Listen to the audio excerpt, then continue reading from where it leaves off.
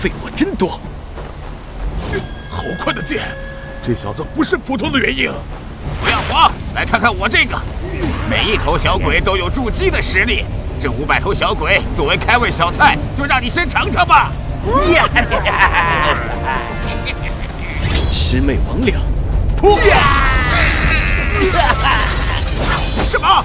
我我苦心搜集的小鬼，帮我称世袭的时间，我要召唤黄泉鬼王。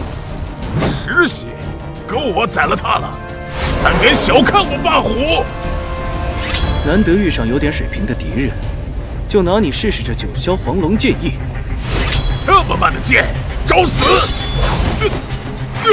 什么情况？剑怎么穿过去了？想跑？回来和我继续再战！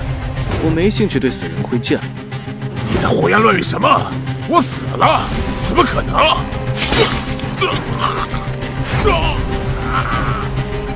怎么可能？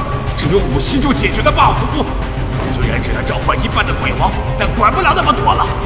黄泉鬼王，出来！尔等凡修，这次召唤本王所为何事？鬼王大人，快助我消灭那修士，之后我会为你奉上一千修士。哪怕只有半神，恐怕都有化神初期的实力。若是全部召唤出来，就麻烦了，得动用龙脉之气了。哼，不过区区一个元婴。哼，天下鬼物可信的龙脉之气，这活我干不了。啊，鬼鬼王大人，不，鬼王大人，你不能这样。哎，堂堂鬼王直接跑路了。即使没有幻龙道人在场，我们都不是对手。现在不跑，恐怕晚点就跑不了了。哼，想逃？土鸡瓦狗，也想等我？该你了。还剩最后一个了。没用的，凭你们的剑气是破不开我这封锁的。你们就和那个陈云一块葬在这儿吧。哼，陈云会击败他们的。再坚持下，只要撑到陈云回援，就是我们的胜利。当真是愚蠢而无知，不知我等摩罗拥有何等的力量。怎怎么可能？你你是最后一个了。那两个废物，他们，他们难道？这怎么可能？你凭什么？遗言就是这些吗？那么结束。就算我死了，也要拉几个陪葬。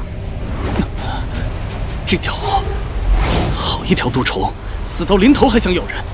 既然如此，就再斩你一剑。啊！师傅，快躲开！师傅，看来老夫还是棋差一招，居然被那虫婆偷袭成功了。让我来看看，或许我有办法。陈师弟，怎么样？师傅有救吗？这蜈蚣也不知道是什么虫子，龙脉之气虽然清除了余毒，保住了大长老的性命，但是一身修为却下跌了不少。师傅，无妨，老夫花了一百年到达元婴境，再花一百年又如何？修士本该逆天而行。诗雨，你不必介怀。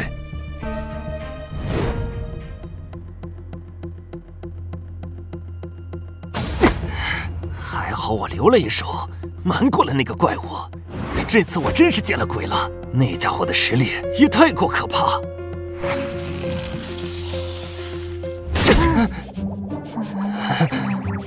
小小朋友，你是谁？为什么在这儿？还吃着？我是来吃大老虎的。这，这是霸虎的凶手插翅虎，居然被你吃了，不妙！这小孩的气息，难道又是一个怪物？